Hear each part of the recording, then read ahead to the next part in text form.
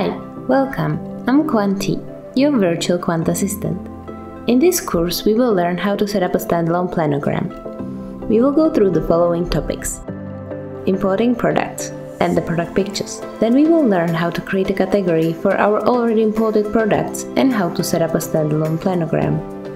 We will also have a look on how to insert a different fixture and finally we will learn how to fill the planogram with products and how to export it. If you're ready, let's get started. Importing products.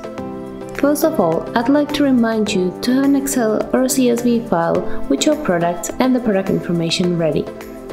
Here you can see how the file should look like.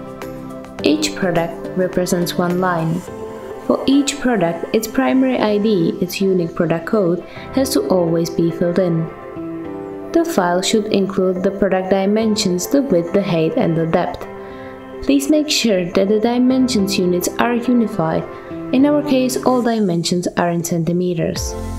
You can also include an information which will help you with the categorization of the products, such as supplier, brand, product, category, etc. Once the file is ready, please follow me in the next steps. In the application of Quant, in the upper menu, open Imports and click on Product Data. A new window appears.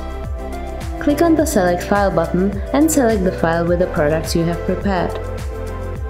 Once the file is uploaded, it will appear in the upper part. Now we have to assign all the properties to each column.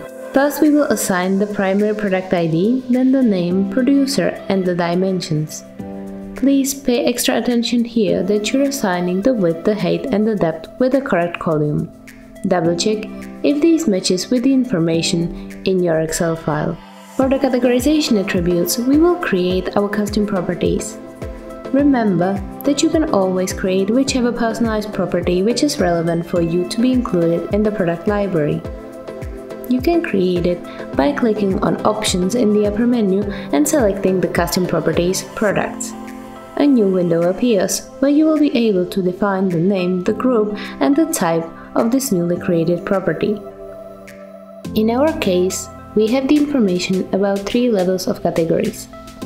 We will therefore create three new custom properties, Category 1, Category 2, and Category 3. Now we will assign the newly created categorization properties to the columns which include the category information. When all the attributes you want to include are assigned, you can double check in the import preview in the lower part where you will be able to see the products together with the information which will be imported. Remember to select the Create New Products checkbox as well as the Set New Products for planogramming. Now you can click on the Import button we will now double check whether the import was successful. Click on the products on the very left and we can see that all of our products have been created with the information which was imported.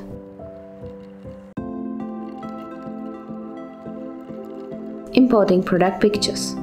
To import the product pictures, it is important that some of the product attribute is present in the name of the picture. It can be, for example, the product ID as in our case.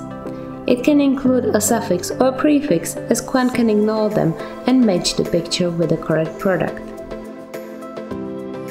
In the application of Quant, in the upper menu, open Imports and click on Product Images. A new window appears. Click on the Select Directory button and select the folder with the images you wish to upload.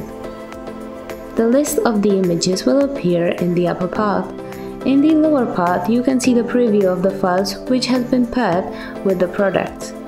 In our case, all of the images have been paired and will therefore be imported. On the left side, choose the default image type and the pairing attribute.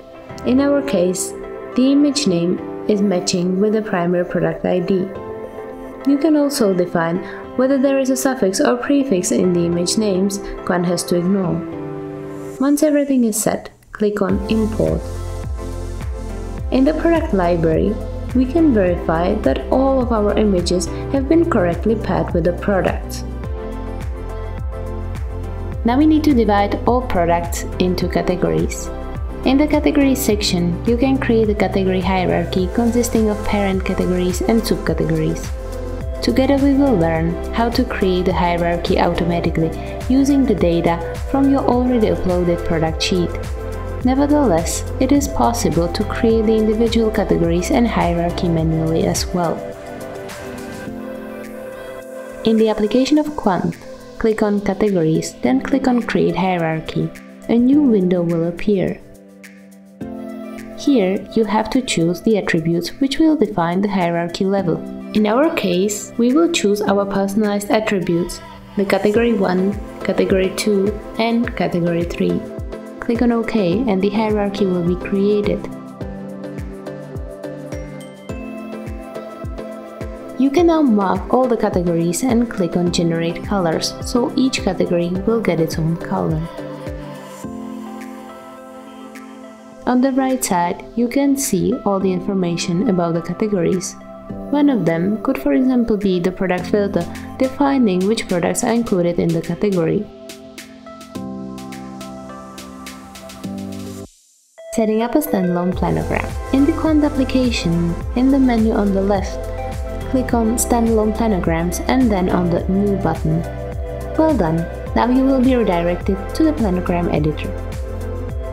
Setting a fixture for a planogram. Please have the dimensions of your fixture prepared. You will need to know the depth, the height and the width of the fixture as well as the number of the shelves and its heights. In the planogram editor, click on the tab Segment in the right upper corner. Here you can insert the dimensions of your fixture. Let's say our fixture in the store looks like this. We will need to first adjust the number of the shelves, then the height of the shelves. Then we will adjust the width of the fixture. Now let's set the category for the fixture so the correct products can be inserted. In the lower part, click on Category or simply press the button K on your keyboard. In our case, we will choose a category Soft Drinks and Juices. If you want to add a segment, you can either add a new one by clicking on the plus button up here or duplicate the already existing one with the duplicate button. Filling the planogram with products.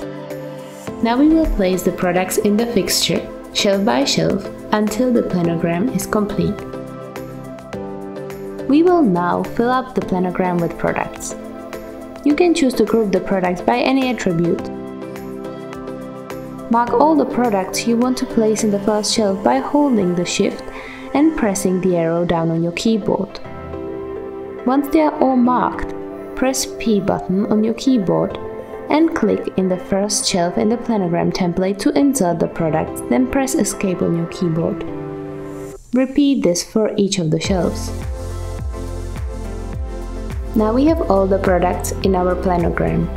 Mark all the products and click on the tab Component. We can adjust the number of the products being placed next to each other, behind each other, and on the top of each other. Let's set the maximum number of the products next to each other as 3 and 2 on the top of each other. Now let's fill the second segment with products.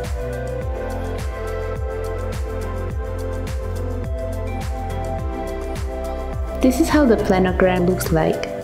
We can also project it in 3D by clicking on the icon up here.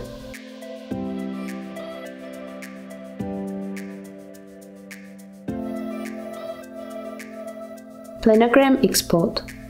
Great, you did it. Now you only need to export the planogram so you can share your first planogram pride.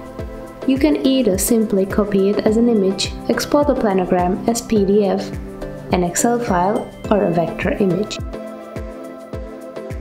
We can export our planogram by using these four buttons up here.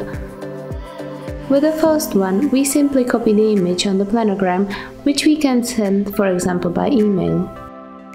We can export the planogram as PDF clicking on this button, also we can add a public note which will appear in the PDF file. This button is to export the planogram as an Excel file.